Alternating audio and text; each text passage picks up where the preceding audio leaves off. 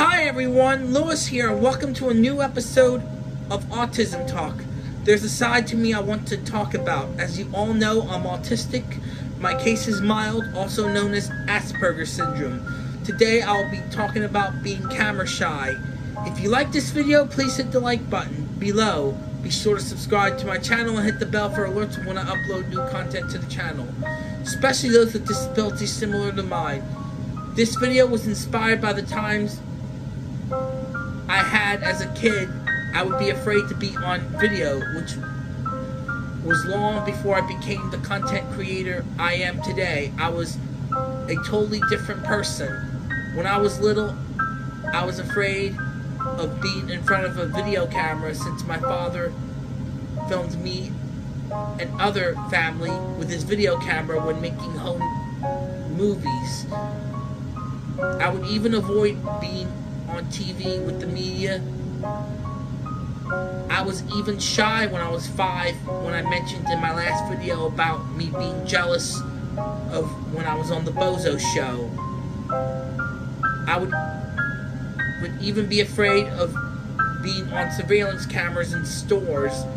It took me years to overcome this feeling as I got older and wanted to be a content creator on here on YouTube to even be a live streamer over on Twitch. Autistic people and people in general can be camera shy. It's hard and not easy to deal with, but it does happen. Sometimes people like me, it can take a long time to come out of my shyness shell when it comes to being on camera. I chose to come out of my shell due to the fact I wanted to make content to share with others around the world. Even when I was bullied over a video I made on my personal channel years ago, I thought I would never make videos ever again.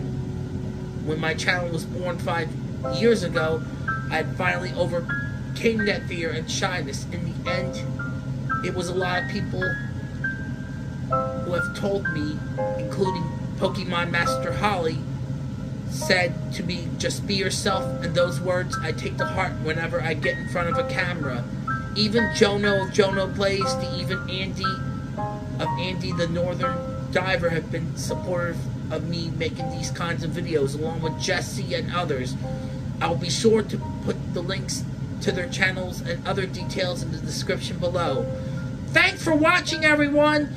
You can also follow me on Instagram, Twitter, Facebook, and Twitch. And remember, it's time for adventure!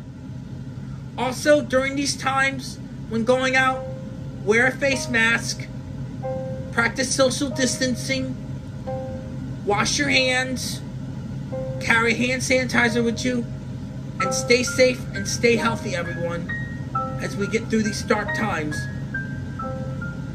And together, we will overcome this.